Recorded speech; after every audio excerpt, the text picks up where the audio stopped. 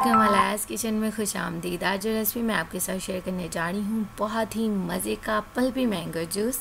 इसमें कुछ secret ingredients हैं जिसको यूज़ करते हुए आप बिल्कुल डिब्बे वाला मैंगो जूस बना सकते हैं, वो भी घर में।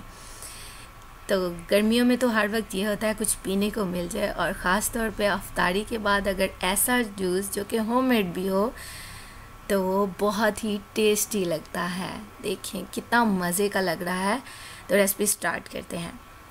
बिस्मिल्लाहिर्रहमानिर्रहीम। सबसे पहले मैंने ये मैंगोज़ लिए ये मेरे फ्रोज़न थे। अनवर चॉइस की खुशबू बहुत अच्छी होती है। तो आप कोई भी ले सकते हैं। मैंगो पल्प मैंने ले लिया है।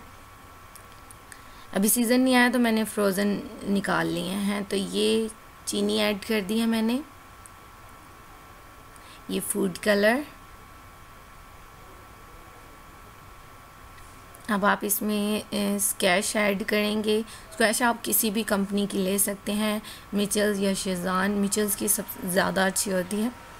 तो आप ले सकते हैं। बहुत ही मज़े का बनता है। टू टी टेबल स्पून आप डाल दें और ये पानी ऐड करें और ब्लेंड करें। लें जी मैंगो जूस रेडी है। इतना इजी और इतना ही टेस्टी मैंगो जूस आपको बिल्कुल ये नहीं लगेगा कि आप ने ये घर पे बनाया है, या बाज़ार से लेके आए हैं, कोई डिफरेंस नहीं है, बल्कि ये ज़्यादा टेस्टी होगा इन तो इस रेसिपी को ज़रूर ट्राई कीजिएगा। और जब आप अफ्तारी में रोज़ा अफ्तार करें, इससे तो मुझे दुआ में याद रखिएगा। अल्लाह हाफिज़।